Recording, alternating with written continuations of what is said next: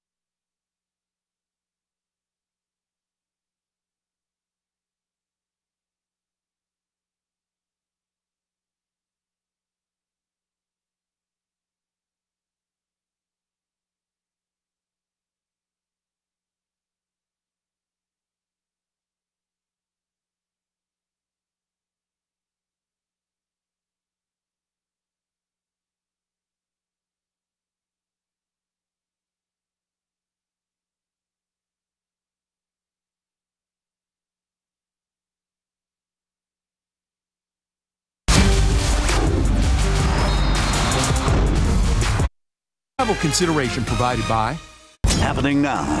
I was just shocked and hurt, saddened. Her father was a victim of theft. The suspect, his own caretaker. And there could be other victims. What she stole and what other families could learn from this.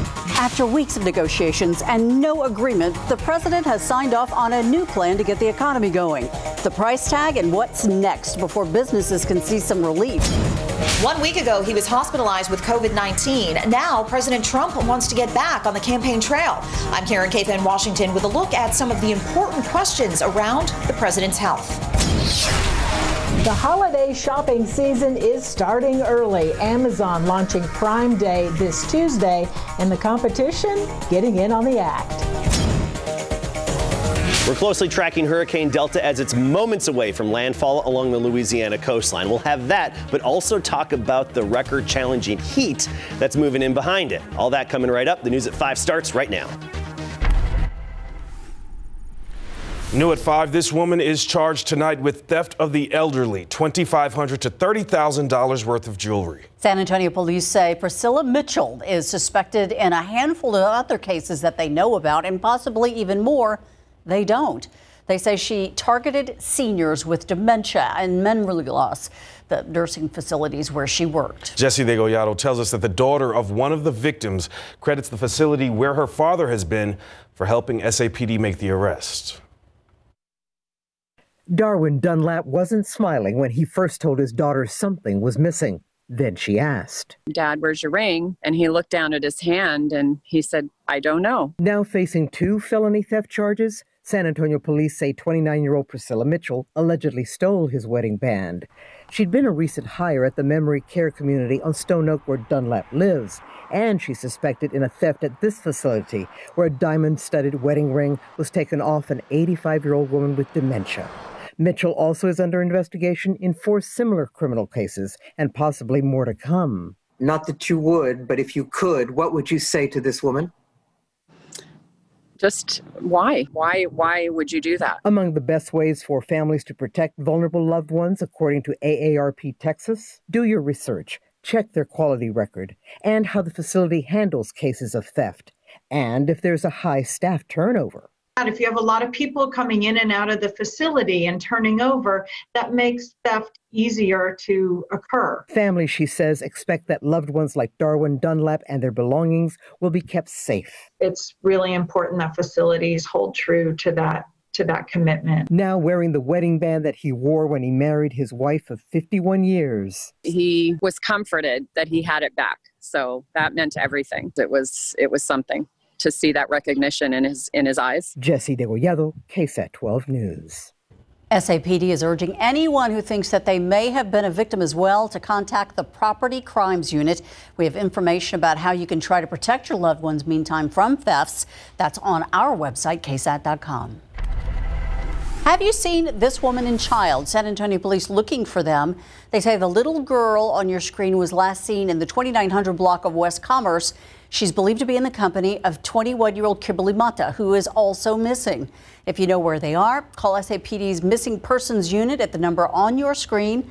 The number to call 210 207 7660. A woman arrested early this morning after authorities say she stabbed her boyfriend during an argument. It happened at a home on Altius Pass. That's in West Bexar County near Marbach and Loop 1604. Deputies say the couple was fighting, and at some point, the woman stabbed the man in the chest.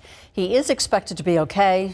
No word on what charges the woman will face. The Bexar County Sheriff's Office warning people about a scam phone call scam that may show up as the sheriff's office on your caller ID, but it's not. The sheriff's office has received multiple reports about scammers contacting people and then demanding money for outstanding warrants in order to avoid arrest. Here's a voicemail one person received.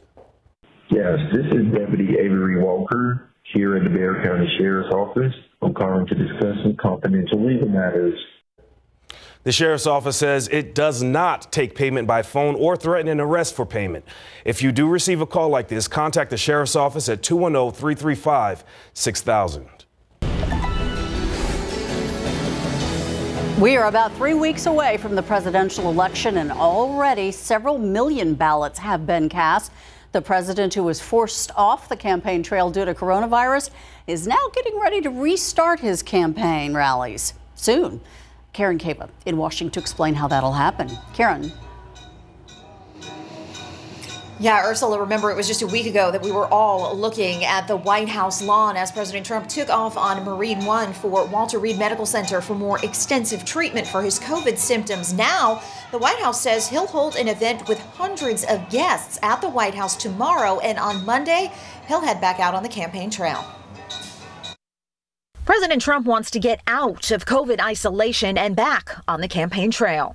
I think I'm going to try doing a rally on Saturday night if we can if we have enough time to put it together but we want to do a rally in Florida probably in Florida on Saturday night might come back and do one in Pennsylvania in uh, the following night but even the White House admits that timeline could be tough. When he wants to be out there logistically, whether tomorrow is possible, uh, it, it would be tough. And instead of packed venues, the president may have to settle for virtual rallies, like one with conservative talk show host Rush Limbaugh. This, sir, is a mega, mega rally. Inside the White House, President Trump has veered on a variety of issues, including the next COVID relief legislation.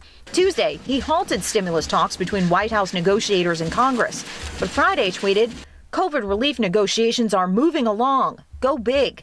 While President Trump recovers from coronavirus, Joe Biden and running mate Kamala Harris are out talking to voters about COVID 19. Joe has had a plan for COVID at least since March.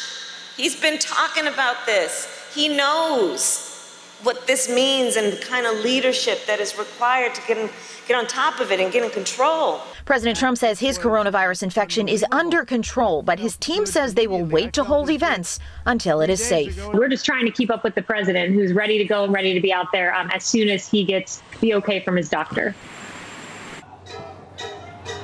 And from what we know about tomorrow's scheduled event, the president will address the crowd from the balcony at the White House. And on Monday, he'll be heading to the Orlando area for that rally in a crucial battleground state. Ursula? Karen, now that the president has made a counteroffer on the next round of coronavirus relief, where do things stand now? Well, Ursula, even though the president has made this counteroffer to House Speaker Nancy Pelosi, the two sides are pretty far apart in terms of hundreds of millions of dollars. The president's counteroffer today about $1.8 trillion. The bill that House Democrats passed last week about $2.2 trillion. And a lot of times it's not necessarily about the price tags of these legislation, but what is actually inside these bills. So some sticking points for the two sides include Speaker Pelosi and her staff wanting to see more from the administration in terms of more concrete plans for ending the coronavirus pandemic and how to get the United States out of this. There are also some sticking points when it comes to aid to state and local governments who have struggled mightily during the coronavirus pandemic and now face huge budget shortfalls.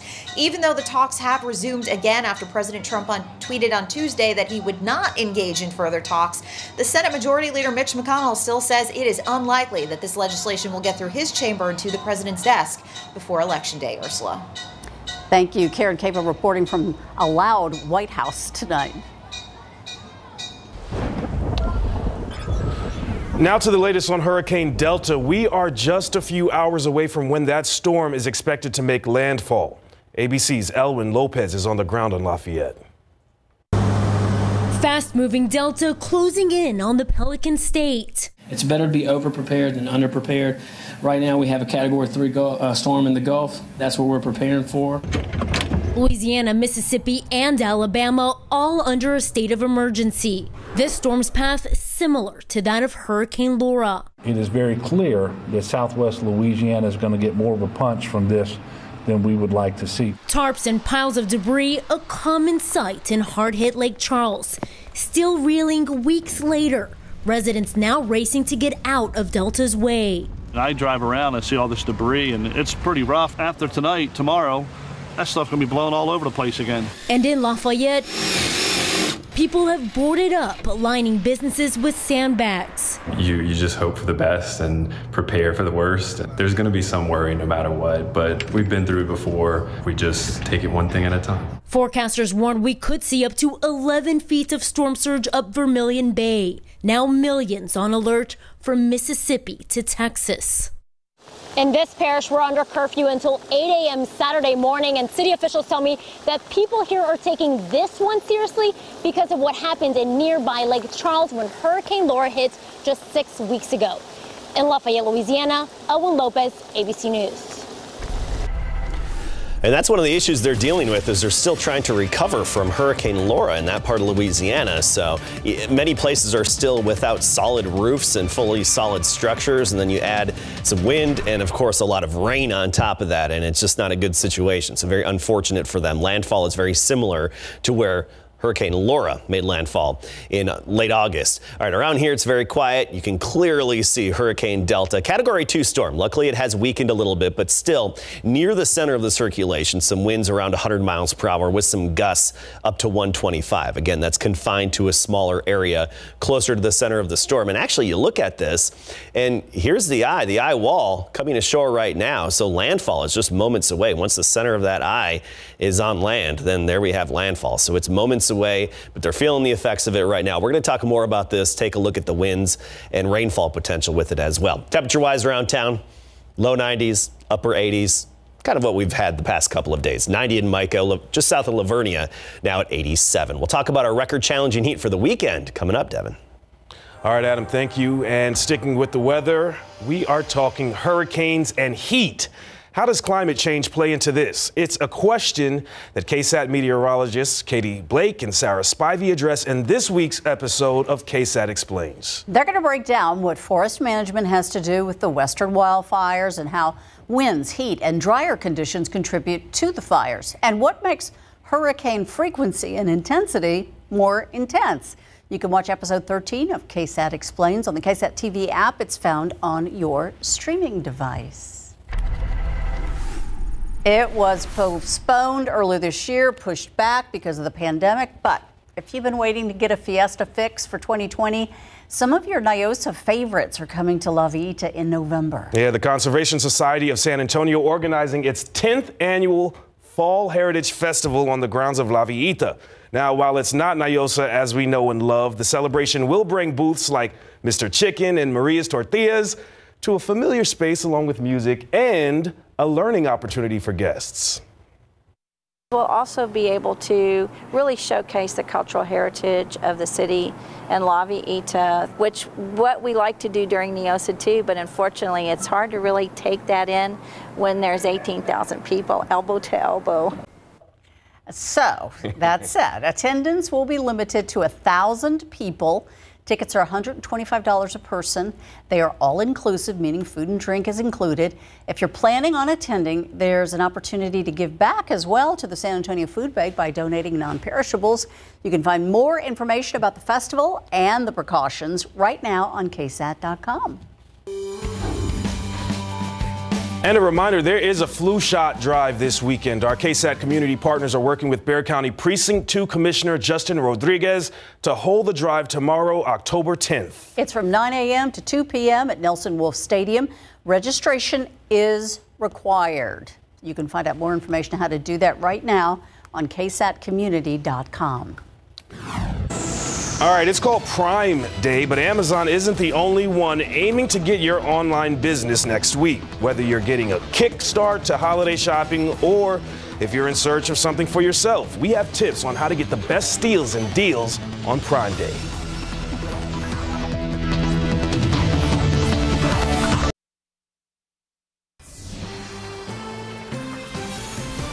New at 5, it's prime time. Amazon's big shopping palooza that normally is in July, but it's been pushed to October. And now other big retailers are getting in on the action, pretty much moving up Black Friday.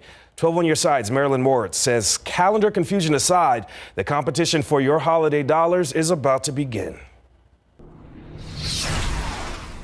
The countdown is on to Prime Day, which is actually two days beginning Tuesday. Amazon's promising more than 1 million big discounts on its own products like the Echo and more. We're also going to see a lot of tech deals and a lot of deals on home goods and kitchen appliances and toys, especially as well, because Amazon is using Prime Day this year to kick off the holiday shopping season. Samantha Gordon, the deal hunting guru for Consumer Reports, says there's a method to the preseason madness. So, first of all, the reason that they're doing this is to spread out the, the load of orders so that shipping doesn't get slowed down because of that. We- It's easy to get sucked into the hype, so Gordon says ignore the impulse to just click and buy. So it's really good to do your research ahead of time, figure out what you want and need now. Even put it in your cart and wait for a deal to pop. And of course, you want to get the best price. If you use a site like Camel Camel Camel, it will actually research the price history of a product. And check out the competition. Walmart is having its big save event Sunday through Thursday, and coinciding with Prime Day, Target is promoting its deal days, and Best Buy is launching Black Friday on Tuesday, 45 days early. But who's counting? The deals start earlier every year. So I've always said Black Friday starts on November 1st, and this year it starts on Prime Day. Prime Day is only for Prime members. If you don't want to commit the cash, there is a free trial. Marilyn Moritz, KSAT 12 News. I am watching that landfall right now. It is happening in Lafayette. Yeah, your old stomping grounds, right? Yeah. Uh, Louisiana there. And uh, it's unfortunately basically making landfall right where Laura did as well. And they're still recovering from Laura. There's piles of debris still scattered all over the place, still cleaning up. And then they've got this to deal with. Luckily, this storm is significantly weaker, but still, we're talking a category two hurricane. So some high winds and a lot of rainfall and a storm surge as well associated with it. So let's get right to Quiet weather around here. Take a look at the visible satellite imagery. And we just have some scattered fair weather clouds. But then you go off to the east, and there you can clearly see the well defined eye of Hurricane Delta as it moves north north northeast at 14 miles per hour. Latest information indicates winds of 100 miles per hour near the center and then some gusts up to 125. And it's basically making landfall as we speak. The northern eye wall has already moved on shore, so the center of that eye is about to make it on shore as well. And See right there, Cameron, Louisiana, Lake Charles, Lafayette. Lake Charles, of course, slammed by Hurricane Laura.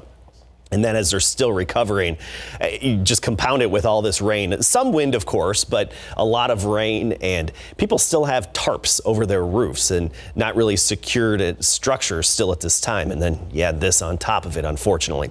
Taking a look at the actual wind measurements from anemometers on the ground, and we're gusting up to 61, 68 even Port Arthur gusts. And Pecan Island here, I did see uh, gusts in excess of 74 miles per hour, so hurricane strength. Uh, it's not reporting right now, either it's communication error or the station got knocked out, but that shouldn't be a high enough wind to knock out the station. So, anyway, here's a look at the wind radii. The red indicates the hurricane force winds.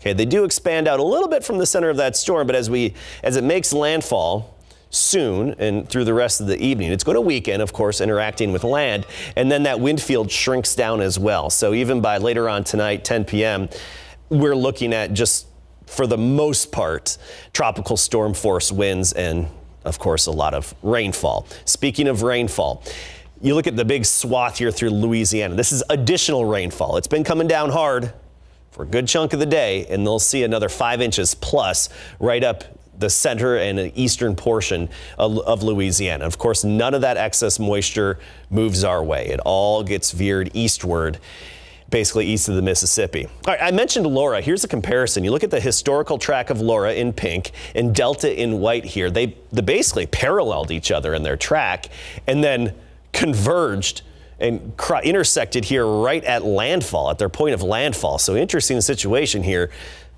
As I said before, it's unfortunate, of course, for the folks around there that are still recovering. 91, that's our current reading. We topped out at 92. That was our high temperature today. Now we're at 91. Some humidity in the air, dew point is 68. But behind Delta, we're going to see even hotter temperatures. We're feeling the heat now. Hondo's 96, 95 Cotulla, Pleasanton 92.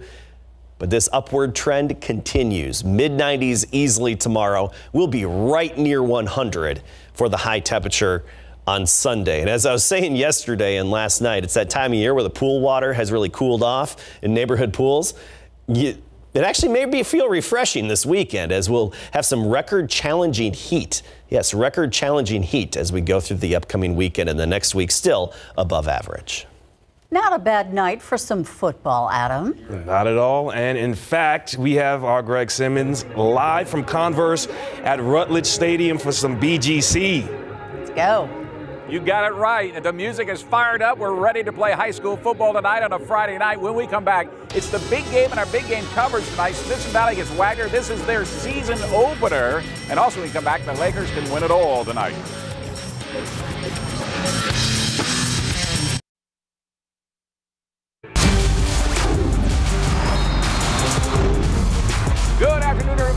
Live to Rutledge Stadium here in Converse for the big game and our big game coverage tonight. This is number two Wagner Thunderbirds kicking off their season tonight with a district throwdown against the sixth-ranked and undefeated Smithson Valley Rangers. Now, due to the COVID-19 pandemic, this is the first game of the season for the Wagner Thunderbirds. It's also the first game back in 6A football, after making it all the way to the state finals in Class 5A last year. And if that wasn't enough, it's also the first game for LJ Butler back with the Birds after he tried to transfer to Judson and was denied. For the Smithson Valley Rangers, they've been able to kick off their 2020 season by going 2-0 with a 45-27 victory over Killeen Harker Heights and a 31-6 win against Madison. And now this is their district opener in 27-6A.